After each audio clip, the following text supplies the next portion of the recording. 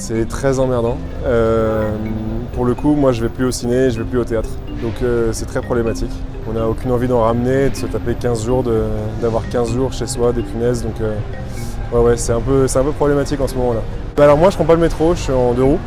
Mais je sais que tous mes amis me disent que dans le métro, plus personne s'assoit sur les sièges. Donc ouais, je pense que ça change pas mal. Il y a pas mal de gens qui possèdent des hôtels dans Paris et qui me dit que parfois ça peut arriver et qu'effectivement c'est problématique. Quoi. Il faut... Ouais, ce serait bien que ce qu'on trouve une solution ou que le gouvernement trouve quelque chose parce que sinon, même pour les Jeux Olympiques, ça va être, ça va être un vrai problème. Quoi.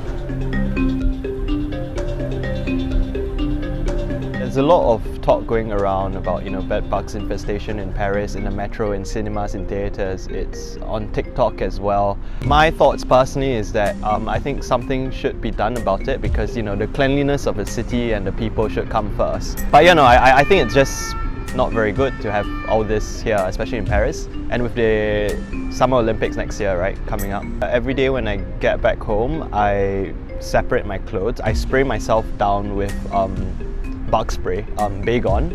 Um, yeah, I just I do my laundry almost every day. I make sure I'm showered, I'm clean. Um, I don't sit down on the metro as much anymore.